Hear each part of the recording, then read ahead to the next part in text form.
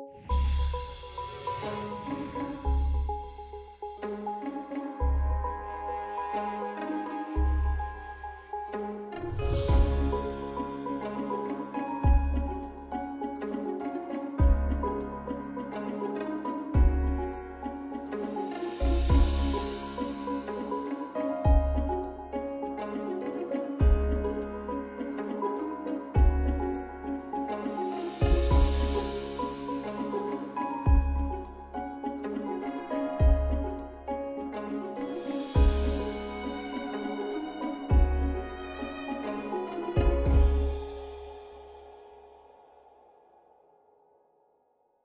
Uh, welcome to uh, the living room at the Goldman School of Public Policy. It's great to have you here today, Congressman Frank, and Alex Gelber, who's a member of the faculty at the Goldman School of Public Policy and also uh, served in the Obama administration. So we have uh, people here with uh, strong intellectual backgrounds, actually in both cases, and also have had a lot of experience uh, with government. So we want to talk some about government in the United States right now in Washington, and especially talk about financial services. We're going to focus a lot on the Dodd Frank Act.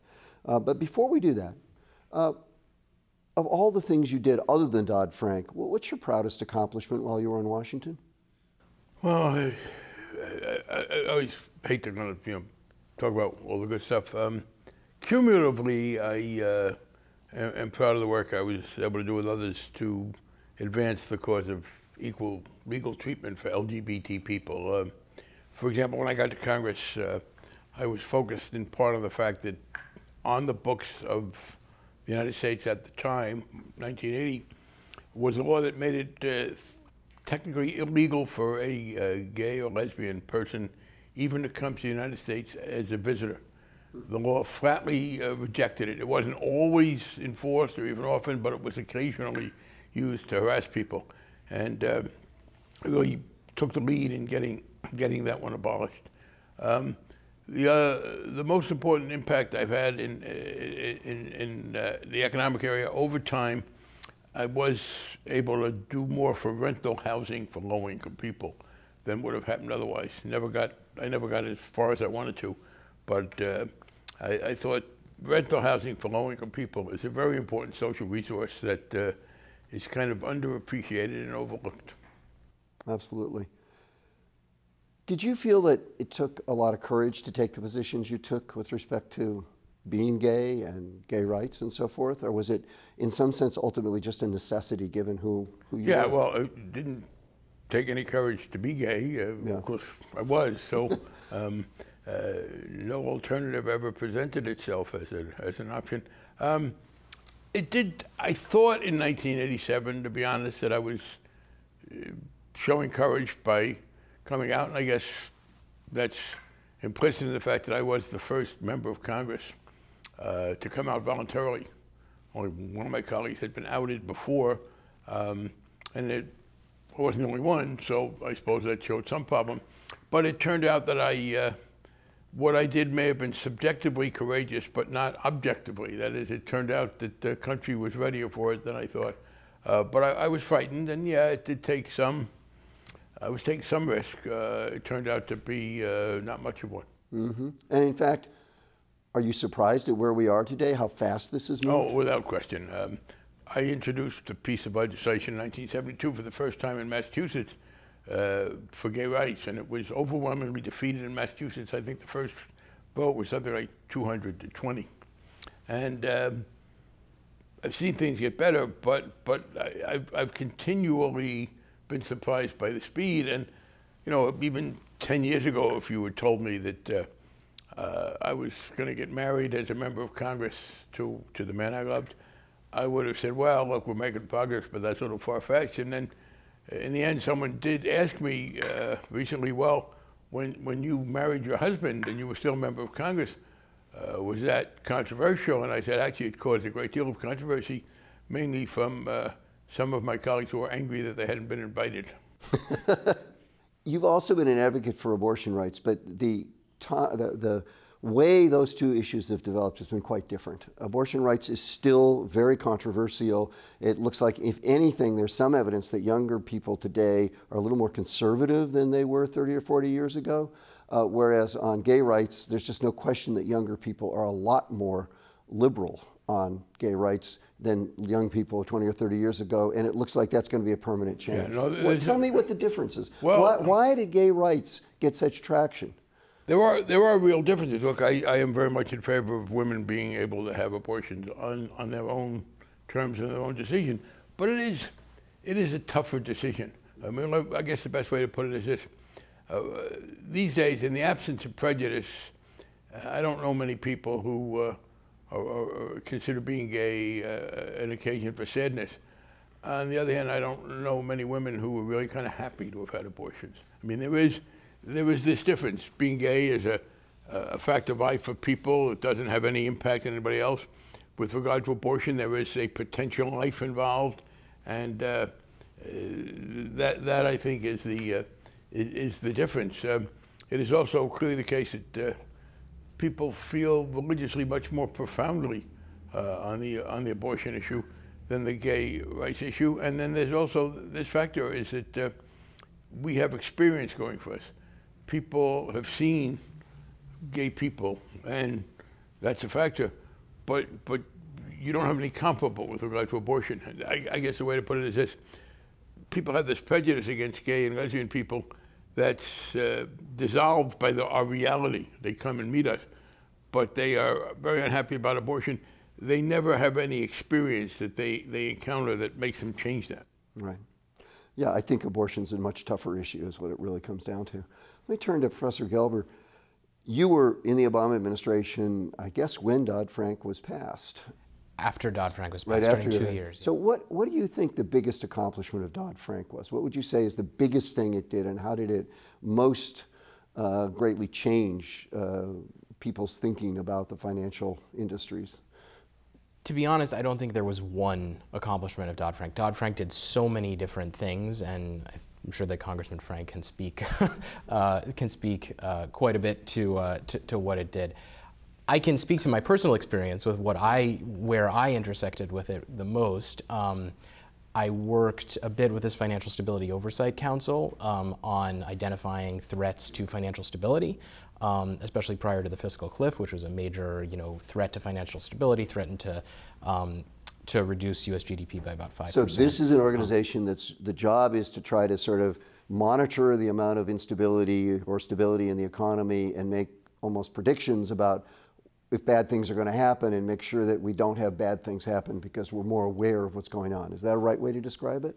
Yes, trying to identify threats to financial stability and uh, identify, you know, discuss regulations, recommend regulations that will, uh, and uh, and policies that will address those those. And is it doing that? Is it successful? I think it is. I think it has been successful. Absolutely, yeah. And certainly, what I observed um, was a was a very serious, uh, very concerted effort to idre- identify, you know, very serious threats in a in an effective way. And Congressman Frank, do you think it's doing what it's supposed to do? Absolutely, and I'm, I'm glad that Professor Gelber mentioned that because it gives me a chance to respond to one of the, I think, less informed criticisms or, or concerns. People have said, well, okay, but is this just not a case of you solve the problems that we had, but what does this say about problems for the future? And we were very conscious in the bill of the importance of doing both, namely fixing abuses that we had seen and, and, and plugging holes that we had seen, but also giving the regulators the capacity to be forward looking. And the Financial Stability Oversight Council was a key to that. And, and the fact that it's a council, it is a council made up of all of the important financial regulators. And the problem previously had been that each regulator has, of necessity, its defined responsibility. And some of the problems have been in the interstices. Some of the problems don't neatly fit into one place or another. So by setting up this council of all the organizations working together and charging them with this mandate, as Professor Gelber said, to, to, to watch out for what's going on, we have installed the capacity not just to fix the past problems, but to respond if something becomes a problem in the future. So maybe we've got a chance to figure out when we've got problems with securitized mortgages in the future or derivatives or whatever else. Is that right, Professor Gelber? Do you think we've got that kind of capacity with that? I think it's I think it's much improved, and certainly what I saw on a day-to-day basis was an enormous amount of effort by very talented and uh, by very talented and serious people to try to address uh, whatever threats uh, looked like you know might be looming on the horizon. And do you think they had enough imagination to imagine? I mean, part of the problem here is it seems like reality gets ahead of our imagination and we don't recognize that things that look relatively harmless suddenly become really harmful. Yeah, um, certainly that's been alleged with respect to the financial crisis. Um, I can tell you from personal experience, I remember talking to someone in preparation for a big meeting, just going back to the example of the fiscal cliff, um, talking to someone from who was working with the Financial Stability Oversight Council, or FSOC, um, who really pressed me on, you know, uh, is it really likely that we're going to solve this problem? Is it really likely that we're going to extend the provisions of the tax code and of, uh, you know, of spending that historically have been extended so many times in the past, it's just an assumption that that's going to continue to get extended. But is that really true? And so I think that there was um, not only uh, imagination, but there was close scrutiny of even uh, you know risks that are that are you know quite unlikely, but still important to scrutinize because of their potential uh, destabil you know destabilization of the economy.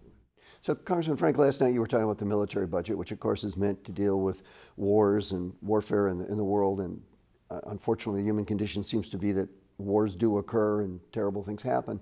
Is it the human condition that terrible things like financial crises happen, or and can we never really get away from them, or do you think we can ameliorate oh, I think we them? Can. What can we, we do? Here? We can we can do two things that I think we did in the bill. We can reduce the likelihood of their occurring, although we can't wipe them out altogether and we can diminish the impact that they will have negative when they do occur. And I, again, uh, appreciate Professor Gelber mentioning the, uh, the, the, situation, uh, what we did with the council. One other, two other points I would make explicit. Uh, first of all, you often hear criticism of any entity, any large organization, whether it's a, uh, a private corporation that's very large, a government, a university, it is that people don't talk to each other that each, uh, there are segments that have their own responsibility and they don't cooperate. And that's a, uh, that's a real danger. If you're the head of the Securities Exchange Commission or the Comptroller of the Currency, you have your day-to-day responsibilities. You, you don't, in the normal course of events, have a lot of time to think about talking to the other regulators.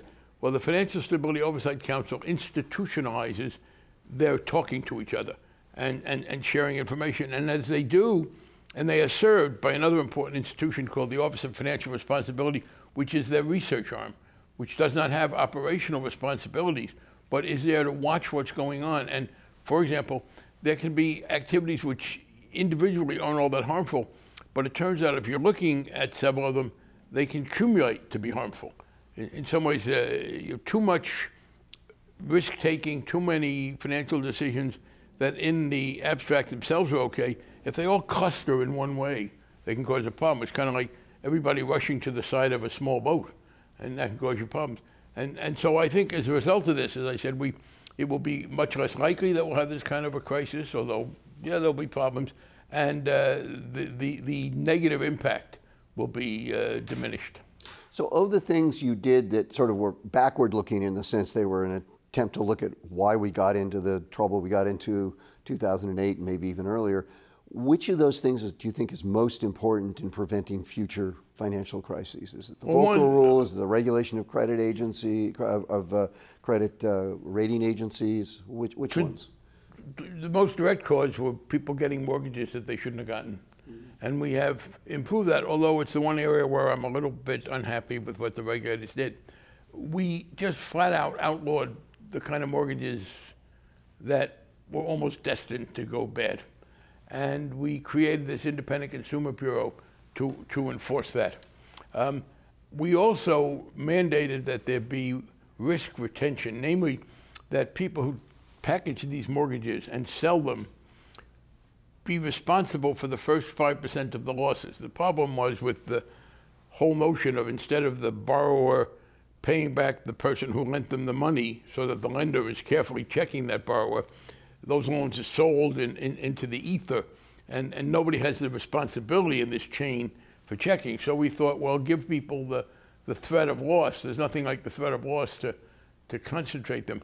The regulators were afraid, I'm told, that uh, uh, the mortgage, uh, the, the, the giving of mortgages was tightened up, so they refused to impose that, uh, which they had some discretion under the law. I'm hoping that will that will come back. Um, the other thing we did was the the proximate cause of this were the uh, use of financial derivatives, and in particular, people engaging in these financial transactions where huge amounts of money were at stake, but with no financial backing. That is, people were making bets.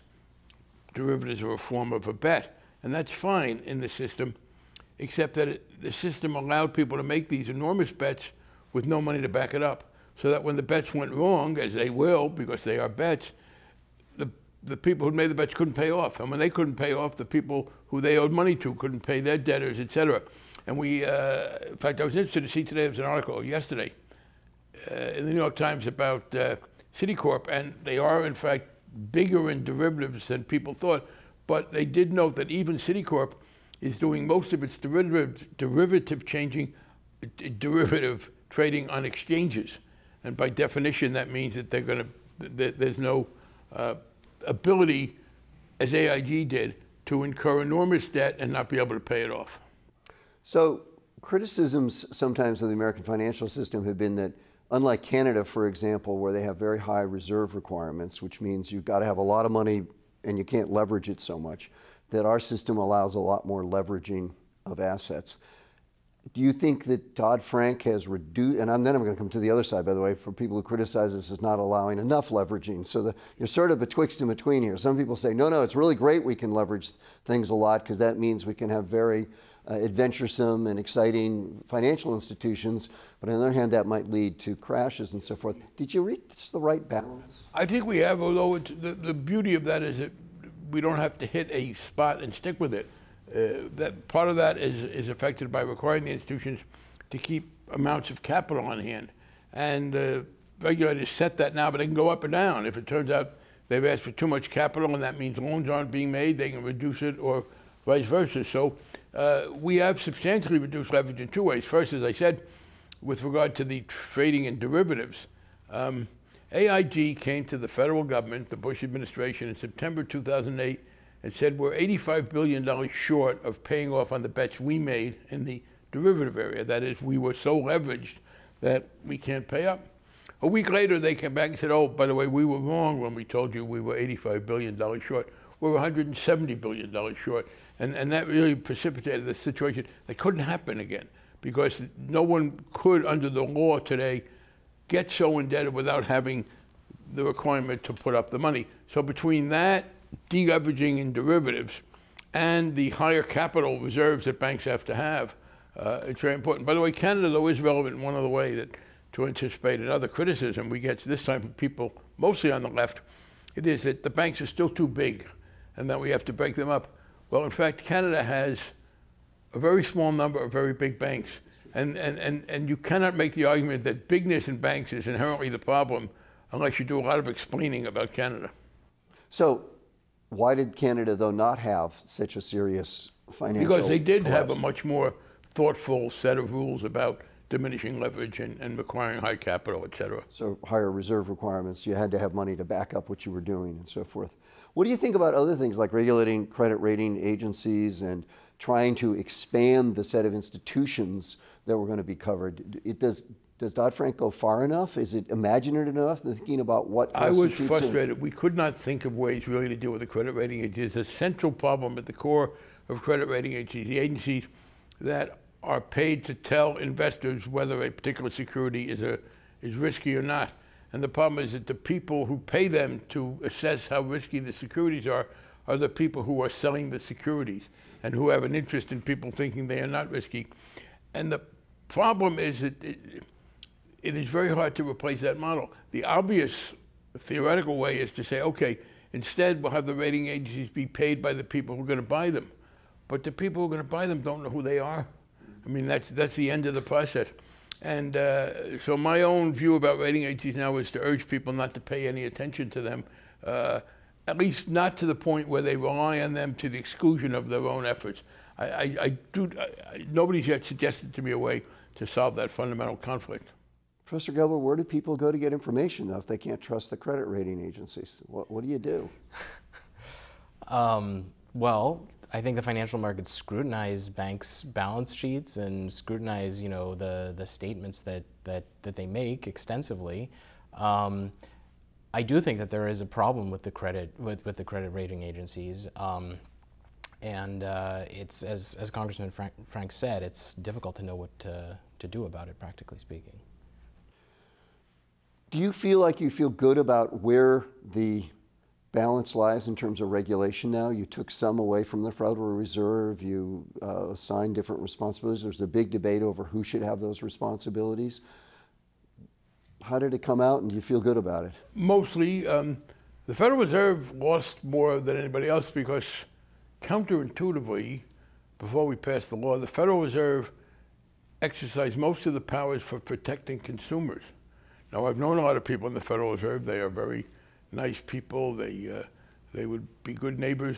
But their fundamental charge is to protect the solvency of the banks. And uh, worrying about fairness of the bank's customers is just never going to be top of their list. So taking all those consumer powers away and putting in the consumer bureau was a good idea. Um, the other thing we did was, as Professor Gelber said at the beginning, was to set up the Oversight Council so they have to talk to each other. There is one fundamental irrationality in our law that there was just no way to change because of American economic and cultural history. Securities, and particularly derivatives, are now regulated both by the Securities and Exchange Commission and by the Commodities Futures Trading Commission. The latter was set up to deal with agriculture, was commodities. Uh, the former, the SEC, for the financial markets. If you try to merge them now, you would have the agricultural interests in the country, which are still very largely represented in the Senate in particular by the two state senators per state, go berserk. So there was a confusion and an overlap there. I give credit in the last few years to the people in both agencies because they've worked very hard to come together. But, but, but that's a potential trouble spot, and I don't know how we deal with it. Professor Gelber, tell me about the liquidation uh, provision. That says that there's a way that financial institutions can be liquidated if they sort of get in trouble. Where does that stand? Is that something that really is going to be used, or is it something that's just there in theory? Well, hopefully it doesn't have to be used, but um, but you know one day it's it's possible that there will come a point that we'll have to. Um, uh, institutions are now required to submit living wills, um, you know, which which specify how uh, they'll be uh, liquidated, and there's something called orderly liquidation authority in, in Dodd-Frank, which um, which allows liquidation. Um, so I think that Dodd-Frank made huge steps forward in terms of uh, in, in, terms of doing that, and there's something called you know single point of entry that allows uh, allows that that liquidation uh, to occur, uh, you know, of the holding company. So, so there there have been tremendous steps I think made uh, recently in terms of. Let's talk about the political thing. So we get into a situation where we have a Bear Stearns in trouble or something like that. Will it make it easier to liquidate a Bear Stearns or deal with something like that, or Lehman Brothers or whatever? I mean, or is it still going to be a situation where political decision making will be incredibly hard because it's not clear what the reactions of the markets will be and of the general population and so forth? I don't want to minimize the problems that there would be in the event of um, you know liquidation of a major financial institution. I think that it would still be you know disruptive to the financial markets, and that's an inevitable feature of uh, the liquidation of a major financial institution, no matter what regulators could could do. Um, but I do think that uh, that having a plan in place in advance mm-hmm. and having the regulations in place in advance that allow that to proceed in a, an orderly way, as, as it's called in the, in the regulations themselves, um, will uh, calm the financial markets, I think, because it'll be clearer how the process is going to unfold. Um, I also think that it'll reduce the risk of contagion um, in the sense that, uh, you know, if you're more confident that uh, there's going to be orderly liquidation of one institution, it's less likely that you know that's going to spread in a sort of panic across institutions like we saw in the financial crisis. Um, so I think that the the prospects are much improved, but that there's inevitably going to be some degree of uh, of um, of instability that it causes. What's your take on that? Is that uh, he's absolutely right, and there are three very specific statutory differences between what was then and is now. And much of it, by the way, and I know the current Republican, very conservative approach is to denigrate all this, but particularly with regard to orderly liquidation, the impetus for much of it came from the Bush administration, particularly from former Secretary of the Treasury Henry Paulson and uh, Chairman of the Federal Reserve Ben Bernanke, although he stayed on into uh, President Obama, he was a Bush guy, a Bush appointee. And uh, here was the problem they presented to us. Under the law, as they were advised by their lawyers, uh, when Lehman Brothers came forward and could not pay its debts, with regard to Bear Stearns, with regard to Merrill Lynch, they were able to get existing banks to take over. But by the time Lehman Brothers came, we were out of banks. Uh, that is, Citicorp was weak itself. Bank of America had taken on Merrill Lynch. J.P. Morgan Chase had taken on Bear Stearns. Um, uh, Wells Fargo had taken on Wachovia. There was nobody left to take them in. So they had to deal with this, and they had two choices, they were told under the law. They could either let the company go bankrupt and none of the debts could get paid with any federal assistance, or they could give them money to keep them from going bankrupt. That's what they did with AIG. They, they, they had no option. And they said, here's the option we need. We need to be able to let the company go under, but have the capacity to pay some of the debts and not all of the debts. With Lehman Brothers, they paid none of the debts. That froze the markets. So with AIG, they paid all the debts, and that got everybody angry. And so we first of all said, Including okay. the guy who was the head of AIG, apparently. Well, yes, he he he, he well, he was the founder. He was not there at the moment, but yeah, Mr. Greenberg, who was the prime uh, shareholder, he has now incredibly sued the federal government uh, after his company needed 170 billion dollars of bailout to keep, uh, and and the company was kept alive. Um, I have characterized Mr. Greenberg, who sued the federal government because he thought he was treated unfairly, as the arsonist who was suing the fire department for water damage. Um, but um, now the federal government can pick and choose. They can, they can pay only as many of the debts as are needed to keep excessive contagion. Secondly, very important, they don't have to choose between letting it go totally bankrupt and pay nothing and keeping it alive. As a matter of fact, a condition of paying some of the debts and stabilizing the situation is to put it out of business, but to do it in the single point of entry in, in, a, in an orderly way. That's why it's orderly liquidation. So that the federal government takes it over, it puts other people in charge, and it can it pays only as many of the debts as it has to. And this is the final point. If it turns out there's not enough in the company itself to pay those debts, generally there wouldn't be, or they wouldn't be going under. The federal Treasury will advance money to pay some of those debts, but the Secretary of the Treasury is mandated under law immediately to recover any outlay that comes from the Treasury from financial institutions with $50 billion and more. So there's no more too big to fail, as it said. If you can't pay your debts, you fail, you're out of business. The federal government then steps in and pays only as much of the debt as it has to to keep the things from getting out of control. And what it does pay is then recovered from other financial institutions. And the rationale for that is this all financial institutions, large ones, benefit from the knowledge that that's there. Again, as Professor Gelber noted, it is stabilizing when other entities know that this is in place. So, because all of them benefit from the fact that the investing community knows it's there, it's fair to tax all of them to keep it going. So, what Congressman Frank's talking about is that the bill presumably reduces uncertainty on the part of financial institutions. They have a more clear picture of what's going to happen. And of course, uncertainty is something that's a big topic in finance and among economists. Does that ring true to you that this is the kind of institutional measures we need to take to reduce uncertainty and to maybe create more stability?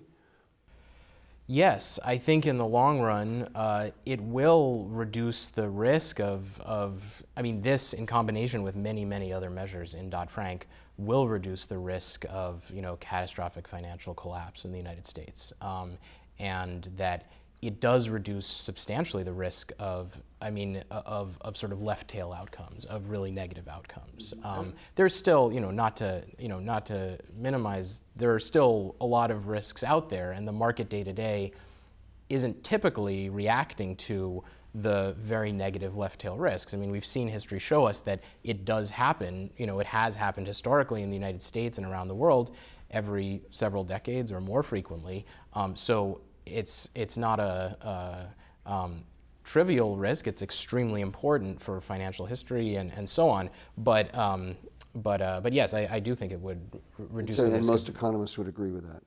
And I think most economists would agree with that. Yes. and the, the market is agreeing with it too. If you, uh, you know, one thing I do want to say, we get accused of uh, those of us who pass the legislation and people in the administration uh, that we intruded in the markets, that we unsettled the market. Um, we began. We had a press conference under Speaker Pelosi, myself, and some members of our committee to announce what we were going to do on March 9th, 2009. Uh, the day we announced it, the Dow Jones Industrial Average was 6,500. It is now almost tripled.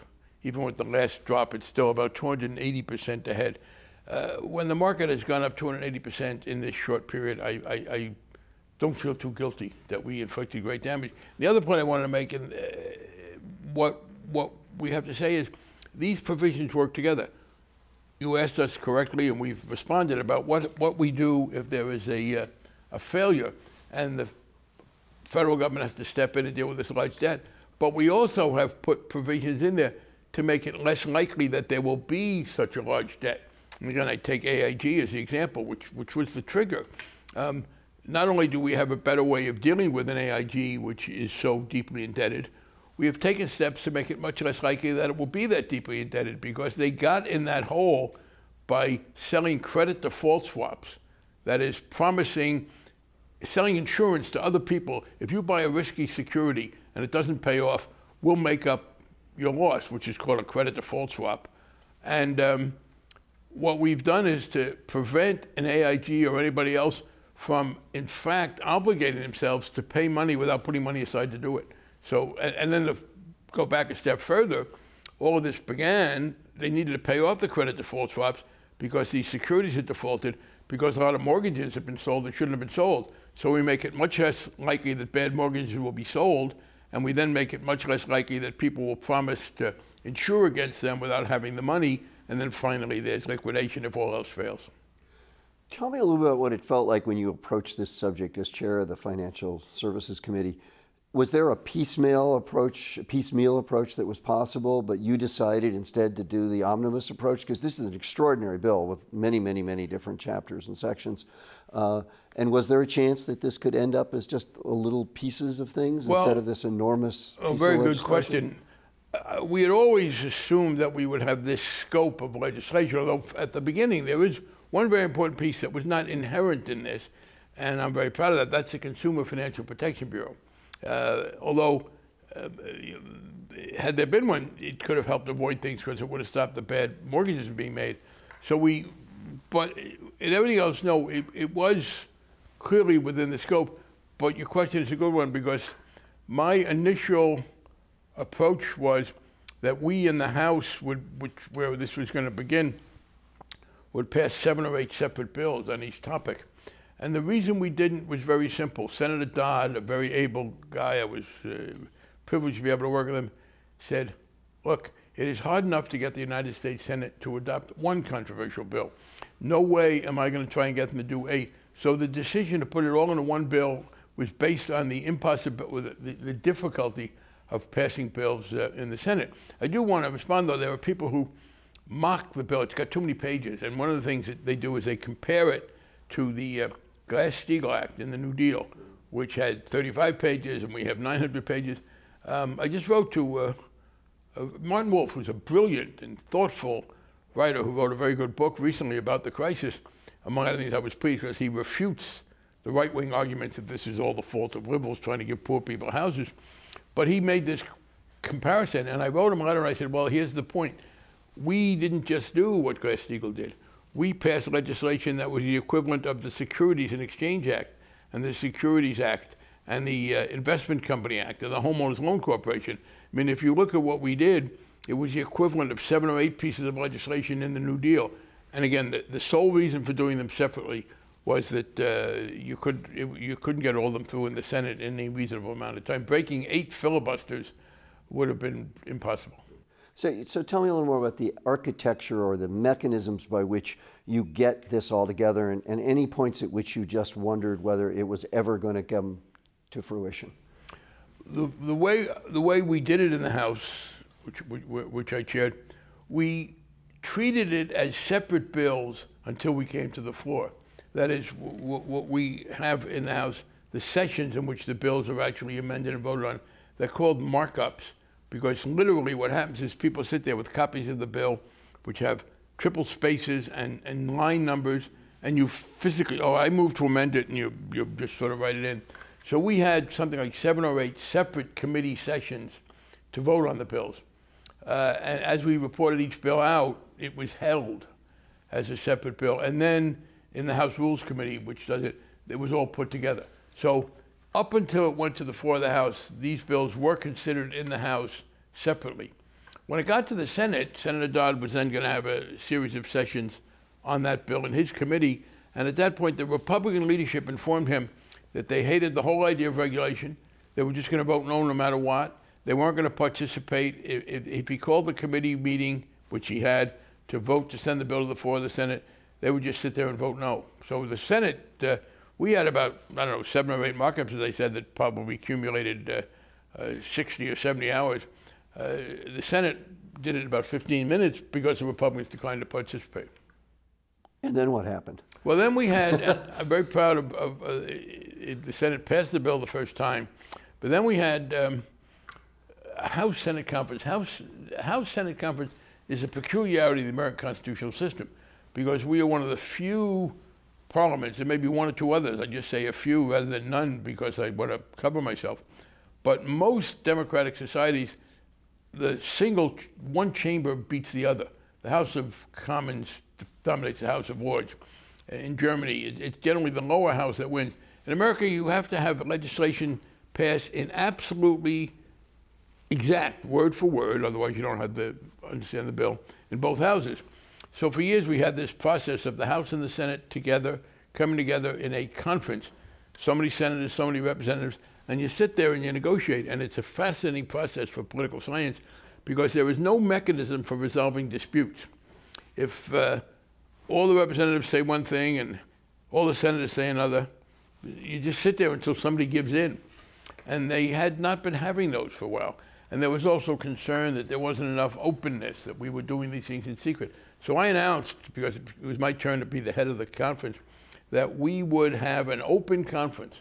So for two weeks, literally two full weeks, uh, five days a week, we sat in first the House and then the Senate and took up that bill piece by piece. There was the Senate version and the House version, and, and, and uh, had to hammer it out. Again, with virtually no Republican participation because they were going to vote against everything. But uh, Senator Dodd and the other Democratic senators, myself and the other Democratic representatives just put it together piece by piece, and I'm very proud of it. We watched C-SPAN, and uh, for two weeks we just sat there and did it. And you think that was a really important piece of making sure that something happened? Yeah, uh, because it, it uh, there were criticisms. But if we hadn't done that, I guarantee you the air would be full of conspiracy theories about all these secret deals, etc. So this is a case where you do something we all do this in human life. Sometimes you do things not because it's going to benefit you to do them, but it's going to cause you great pain if you don't do them. So you do them to break even. So, there are any moments when you despaired that you just thought this isn't going to work and, and it, I just can't make this happen? Or what did it all feel like all the time that you're? A couple of times I was worried about pieces of it. Um, the the financial institutions made a big push push to try and weaken the Consumer Bureau. Uh, there was a critical, obscure issue um, under the Bush administration when many states tried to regulate banks' mortgage practices. They issued what's called a preemption, whereby the federal government said that no state could regulate mortgage practices. This was one further example of the conservatives, in effect, saying you couldn't block subprime mortgages. And the banks hated that, and, and we had a major legislative fight over that and I was afraid we might have lost that, which would have severely hampered our ability to go forward to protect uh, consumers. Uh, but it worked. The, the, the, other problem was in the Senate. They needed 60 votes. And one of the Democratic senators, Senator Feingold, decided that it wasn't perfect enough, and he only voted for perfect, even though he said this was much better than the status quo. Said he was going to vote no. Elizabeth Warren tried to get him to change his mind. He wouldn't do it. So it came down to three Republican senators. We, we didn't have enough Democrats. We had almost enough. We needed the votes of, uh, I think, one or two Republican senators, but there were three more moderate Republicans from New England Senator Brown from Massachusetts and Senators Snowe and Collins from Maine. They basically decided they were going to vote that way together. So we had some uh, hairy negotiations. One day towards the end, when we were, we were ready to uh, bring the bill to, the, to, to go to conference and needed to have the 60 Senate votes, I got an emergency phone call. I was in the House gym, and it was uh, Senator Dodd, Senator John Kerry, and Senator Harry Reid, the leader. And they said, Scott Brown's got a problem. You, we got to work it out. I had to go in my gym clothes over to my office and, and, and have some last minute negotiations. And then the other one was after we actually voted the bill out, the Congressional Budget Office told us it was going to cost $20 billion to do everything we wanted over a 10 year period. Ironically, they said, look, it's going to cost 20 billion over the first 10 years. It will make money in the second 10 years, but you can't count that under the stupid rules we have for the budget that we imposed on ourselves. Um, so we said, okay, this 20 billion will be assessed on large financial institutions that have 50 billion or more in assets. And to our shock, the Republican, the three Republican senators said, no, we, we, we, we, we, we, we've done enough. We can't vote for higher taxes. And this assessment on the banks is a tax. So Senator Dodd called me and said, I got a problem. I don't have my 60 votes. We had to reconvene the conference and uh, take the burden of that assessment off the banks and put it on the taxpayers. Um, Senator Brown got hurt by that. That was one of the arguments Elizabeth Warren used against him. Mm-hmm. Interesting. Perhaps you solved too big to fail. How about too big to jail? Can we assume that in future situations where we have people who have, it looks like to many of us, acted very badly, that they're not going to go to jail and not be held account for what they I did? hope we have. I, I will plead a little bit of uh, uh, not, not my fault because under the uh, way Congress works, we don't have criminal jurisdiction. Um, you know, we, we have civil jurisdiction, although it can be a, we, we did create things that would be crimes. Um, two arguments against that. One, in somewhat defense of the prosecutors, part of the problem was that things that were clearly lousy weren't illegal. I mean, one part of this law was to make some things illegal that weren't. Beyond that, I can only say I share your view. I, I was disappointed that they did not prosecute more people, and I hope they will prosecute some of them in, in going forward. I understand the argument that you don't want to necessarily prosecute the whole bank and collapse it. Um, but banks don't do anything. Individuals in the banks do them. Mm-hmm. And I, I agree, and I'm not, I still don't know the answer why there weren't more individual prosecutions. Well, that, that leads me too to the fact that we've got increasing populism, I think, in America. Occupy is certainly a very populist movement of the left. The Tea Party is a populist movement of the right. And one thing they actually agree upon is that they don't trust Wall Street, if you look at the data. Uh, and that's been typically true of populists. They don't trust big institutions, uh, although those on the left trust government a little bit more than those on the right. But certainly in terms of private industry, they don't like big business. Populism, though, is sometimes not clear on what the problem is, and it's sort of a I'm unhappy. The big guys got off. They didn't get jailed. They were treated with kid gloves. How come I don't get anything? Is that a dangerous thing for America? Oh, it is. Um, I will tell you, I, I was never more worried about our ability to govern this country than in the uh, late winter of 2009 when it became public that AIG had paid bonuses to the very people who had caused this problem. And there was this white heat furor. And, and I am worried about it. I have to say, and you're right, that the, the right talks about this and the left talks about it as well. The left is, uh, I, I disagree with some of their specifics, but at least they're coherent. Um, the right wing fulminates against Wall Street, but if we talk about raising taxes on uh, uh, this Dodge, I think it's a Dodge, where hedge fund people, um, they have something they call carried interest, and it's basically a profit they make that they treat as if it was a capital gain and get lower taxes, but the right wing supports them. So while, while the populists fulminate, um, the Tea Party people also, are, are, are, I guess they say, well, big government's worse than big banks. And overwhelmingly, the Tea Party people vote against regulation. Um, but yeah, it is. So the biggest danger is they are, and I think some of the business community, which has been very supportive of the Republicans because they were so angry at what we did in regulating them in the financial community, are now worried about their attacks on the Federal Reserve. Um, when I came to Congress, it was considered sacrilege to criticize the Federal Reserve. I would differ with them on interest rates, and I was told, no, that's dangerous. Now we have uh, the right wing, I think, dangerously trying to undercut the Federal Reserve. And what's interesting. And you see this at Tea Party rallies, by the way. Absolutely. You see, actually, in Occupy too. Both, again, Occupy and the Tea Party have concerns about the Federal Reserve. But the, uh, the difference is this the Tea Party is effective. Okay. People in Occupy go and have marches. In fact, there is no Occupy anymore. I mean, one of my regrets, frankly, as a liberal, is that uh, Occupy never got nearly as politically effective as the Tea Party.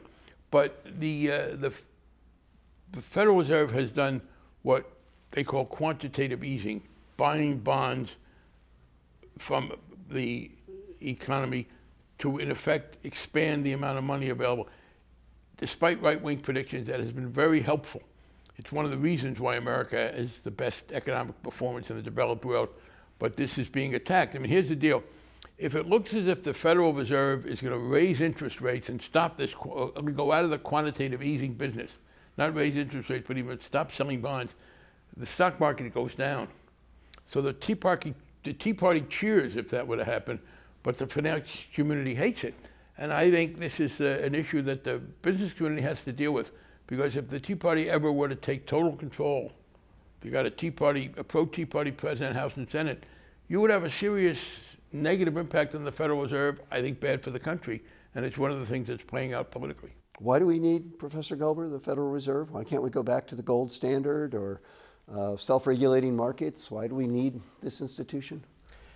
Well, the Federal Reserve's monetary policy helps stabilize the economy. So, as Congressman Frank uh, said, I think the Federal Reserve played an enormous role in stabilizing the economy. For example, during the financial crisis, expanding its balance sheet tremendously, um, providing you know a lot of capital, uh, you know, uh, and uh, you know keeping keeping interest rates low. I think has been very important. If you look at the, as Congressman Frank I think alluded to, if you look at the performance of other developed economies around the world, it's really a stark difference between how the United States has done versus how, let's say, Europe has done um, in the days since the financial crisis. So that's a good example of how the Federal Reserve has been effective in um, what's called countercyclical uh, monetary policy, you know, sort of leaning against the wind. And when there's a crisis, uh, uh, you know, lowering interest rates, trying to stimulate the economy when the economy is overheating, trying to pull back a little bit.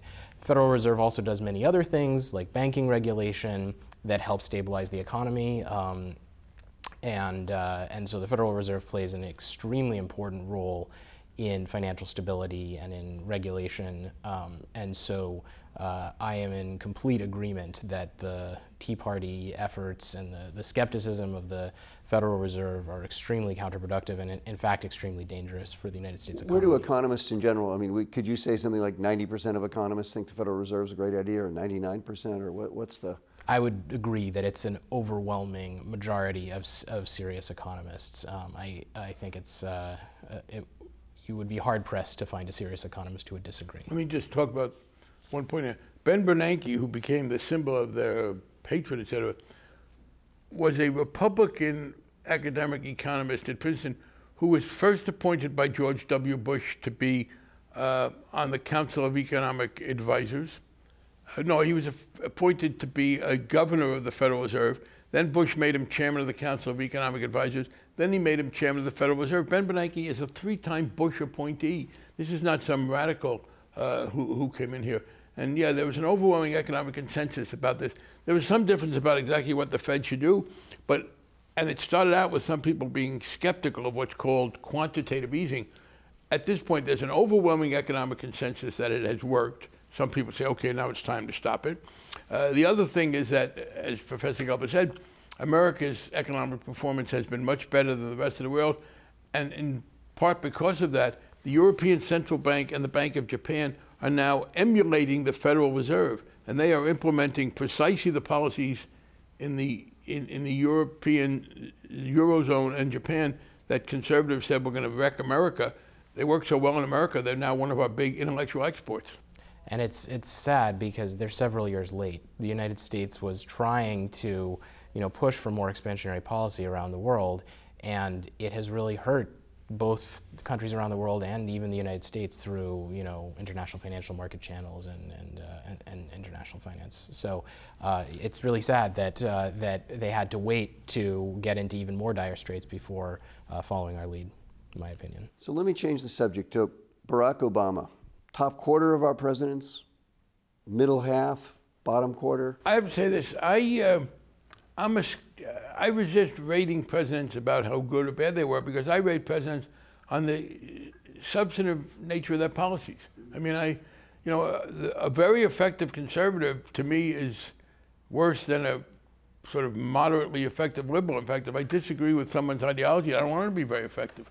Um, I do think that uh, Barack Obama, having said that, looks looks good. Uh, the 2009-2010 congressional session, when we, for the first time since Bill Clinton's first two years, had a Democratic House, Senate, and President, has one of the best legislative records in American history.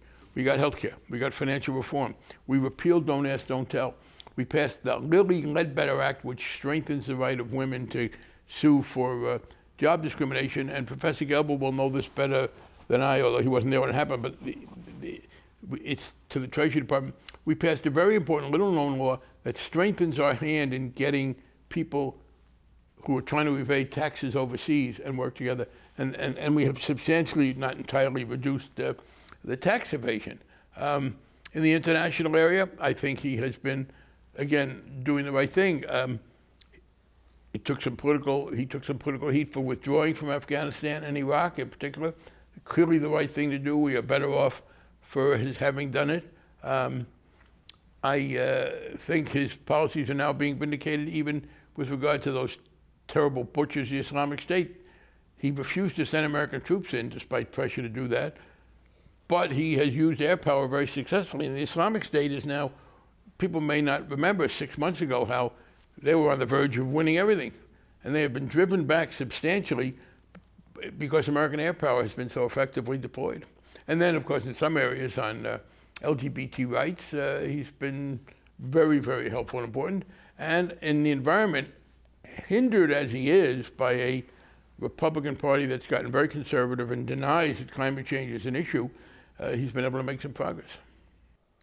So you said you didn't want to rate the president, but you did just say there's a lot of things he's accomplished. Would you say then he's towards the top in terms of accomplishments as a president? Well, he's been a very effective uh, advocate advocate of policies that I like. Yeah, I think that was uh, uh, that's one of the things I, I, give him credit for. Now, again, you always, you know, he he's he was able to accomplish more than President Carter, mm-hmm. a very decent man. But but I think he. He, he, he did better. In fact, he's been unfairly uh, criticized. Oh, why didn't he do what Lyndon Johnson was able to do? Well, Lyndon Johnson was a spectacularly successful president with the Congress for a couple of years. Uh, and it's partly he can thank Barry Goldwater for that because the Republicans nominated Barry Goldwater in 1964. He was off the charts to the right.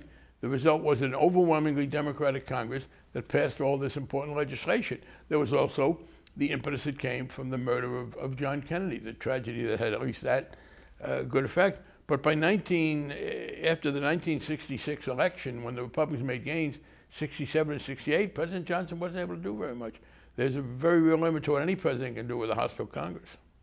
So, what do you feel is left undone that you wish that you had another career uh, to expend on getting it done? I would like to continue the work I try to do on, on affordable rental housing. I think people uh, misunderstand that. For example, in the education area, I'm very sympathetic to teachers who say, you know, here's the problem. Kids come to school, young kids, who live in terrible situations.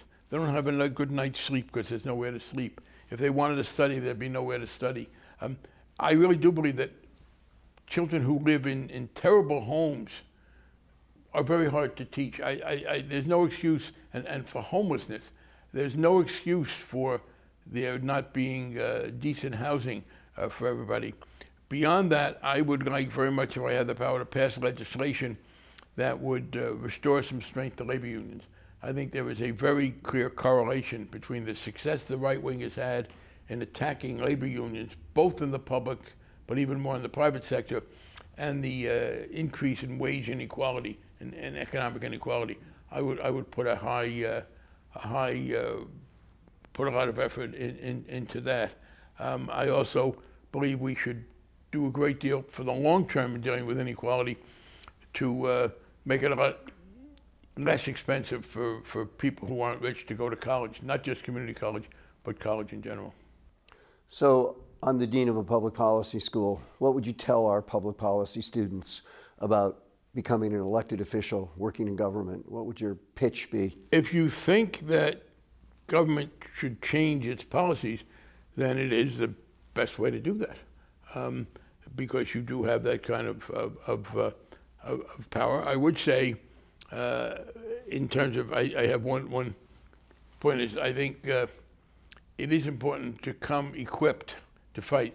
The one counterintuitive thing I think I say to many, counterintuitive because it's not what everybody wants to do, please take a lot of accounting. About 50% of the debates we have are over people's either misusing or, or refusing to use uh, accounting. But the other thing, I, it's inherent in what I So said numbers matter. very much. Makes makes me happy. And, and the misuse of numbers by others is, Yeah. is very important. The other issue is um, uh, I talked about Occupy and the Tea Party. I think the American political system responds much better to informed, disciplined public input than many of my friends on the left like to say. But the problem is that's a self fulfilling prophecy. We have two kinds of voter suppression in America. We have voter suppression that comes from the right, which is conscious and legal and outrageous and puts legal obstacles in the way of people voting. But from the left, we have this drum fire of argument that says voting's a waste of time, that there are no good politicians, they're all bums. What's the difference? Big money dominates everything. They may not fully believe that, but they find it useful to use the rhetoric. But a lot of other people who may not be as sophisticated, if you hear that rhetoric, if you're told it doesn't make any difference, they're all in the pockets of rich people, they won't listen to you, why would you try? And I think that, that, that has a depressing effect. And your history is that you did actually take on some of those rich, powerful interests and Elizabeth Warren, the day that the committee I chaired voted out, and I said we did separate votes, we had a vote on the Consumer Financial Protection Bureau. And one of the highlights of my career was standing next to Elizabeth Warren when she said, They told me not even to try this because the banks always win, but they didn't win today. They didn't win, by the way, because the financial crisis so agitated the general public that they weighed in.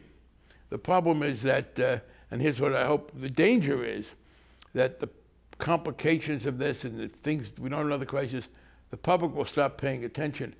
The large financial institutions will continue to pay attention, and that, that's the path for them to erode it. great. Thank you. Thanks for being with us, Professor Gelber of the Goldman School, uh, Representative Barney Frank, uh, retired from Massachusetts. Thank you.